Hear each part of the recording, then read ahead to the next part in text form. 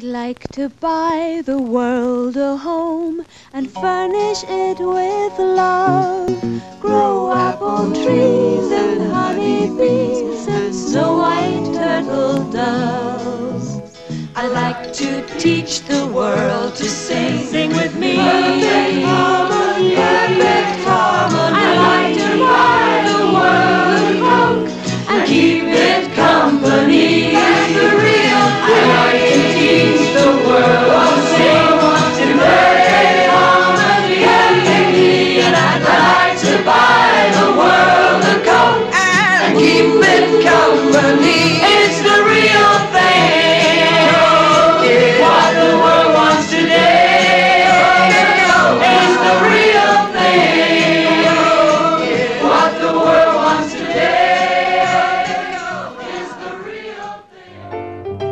Things happened in 1972, our senior year at Lew Wallace High School, our final go around. 12 years have gone by, and that quickly, you're ready to take the next step. Then, bang, before you know it, it's time for your 50th reunion. Presented by the Lew Wallace 50th Year Reunion Committee to be held October 8th at the Innsbrook Country Club in Merrillville. If you're a member of the class of 1972, take the time and reach out to our classmates. 50 for 50, $50 for our 50th reunion. Time is running out, so let's reminisce.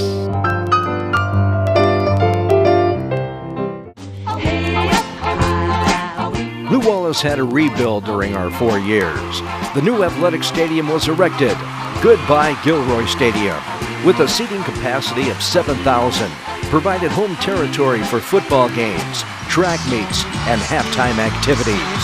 On a hot 90 degree night, wilting mums and a standing room only crowd. A 0 to 0 score.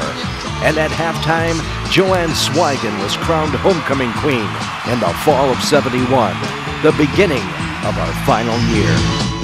Daddy, don't you walk so fast. Daddy, don't you walk so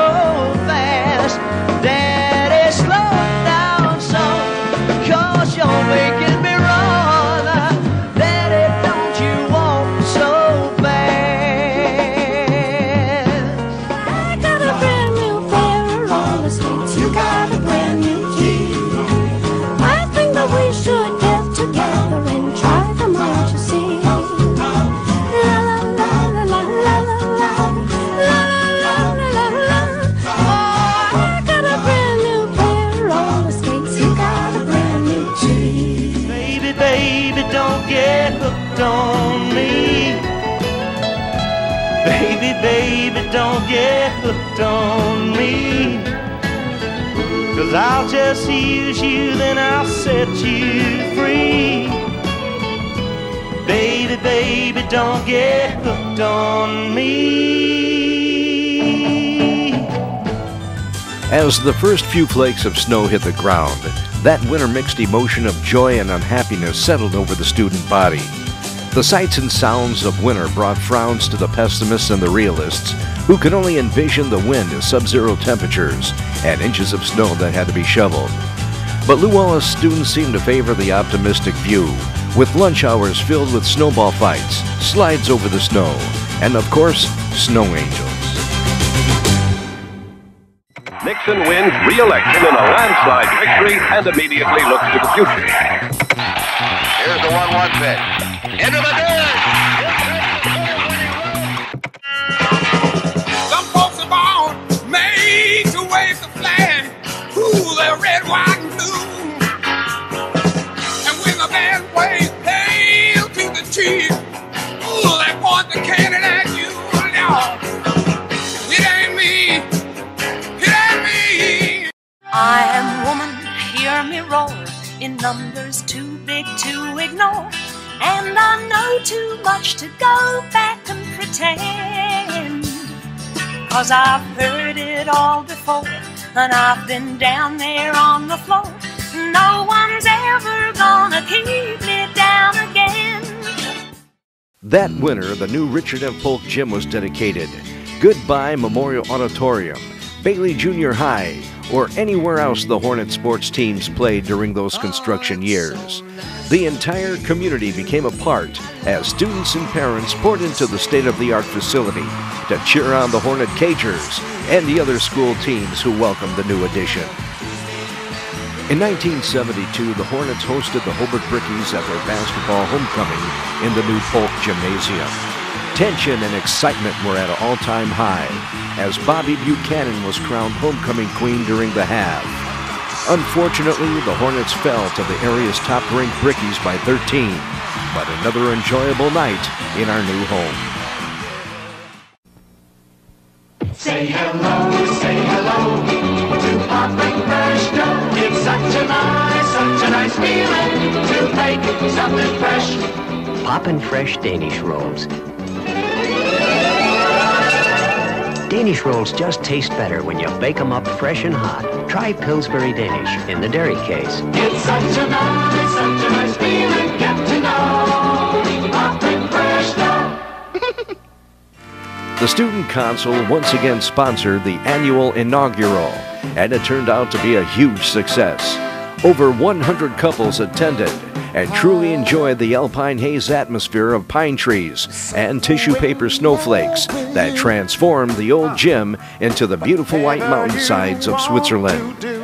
Following the dance, the music of Mother Goose provided entertainment from the second floor surge area for after party refreshments. lean on me when you're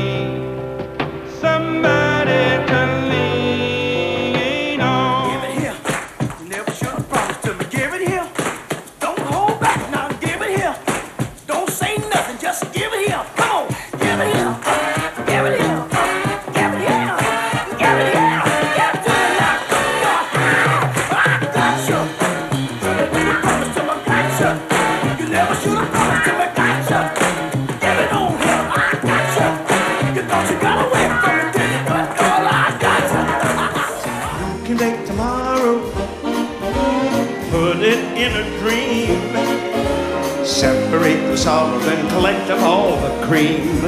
The candy man, candy man can. You know the candy man can cause he mixes it with love to make the world taste good. The candy man makes everything he makes satisfying and delicious. Talk about your childhood wishes. You can even eat the dishes. The first turnabout of the school year was sponsored by the Girls Club in November. The theme was Fantasyland. Do you remember these two, Frank Bravo and Tony Nazolowski?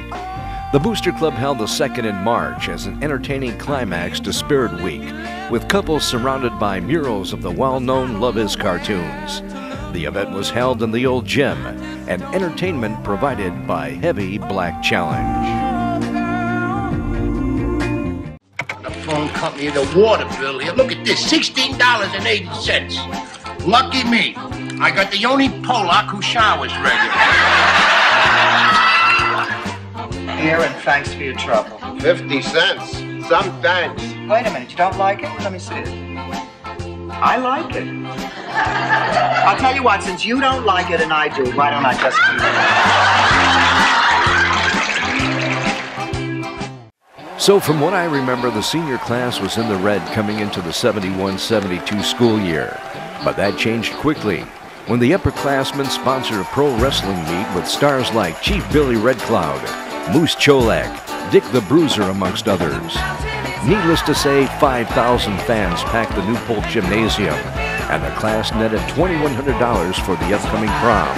A lot of money back then. Then in late April, the inevitable happened a 22 day teacher strike that loomed possible from day one of our senior year. Superintendent Dr. Gordon McAndrew and Teachers Union President Sandra Irons would bump heads for three weeks until a close vote opened the doors of the Gary Public Schools, and for us seniors, the home stretch.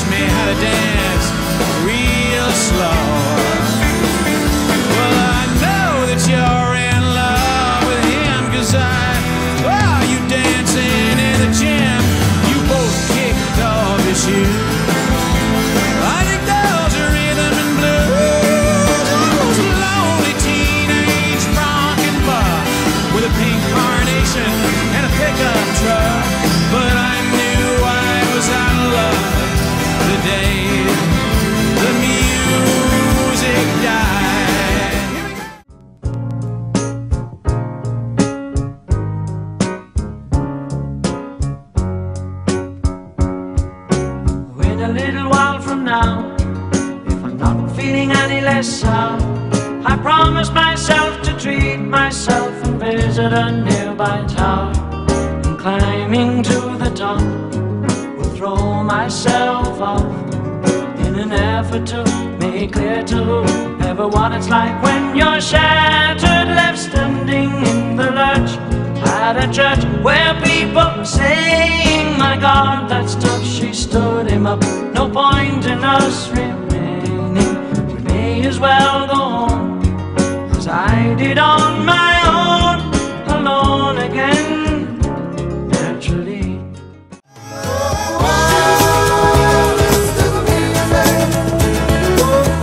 Our senior prom was close to being lost due to the teachers' strike, which cut off communications between classes and students. But thanks to our dedicated sponsors, committee chairman, and the class officers who came together and managed to hold the junior and senior prom in spite of all the inconveniences.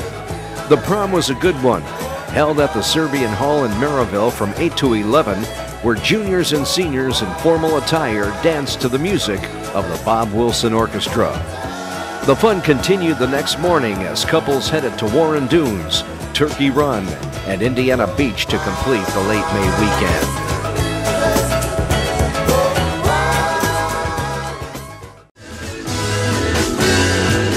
Never in the history of Lew Wallace have Senior Week activities gained as much publicity as in 1972.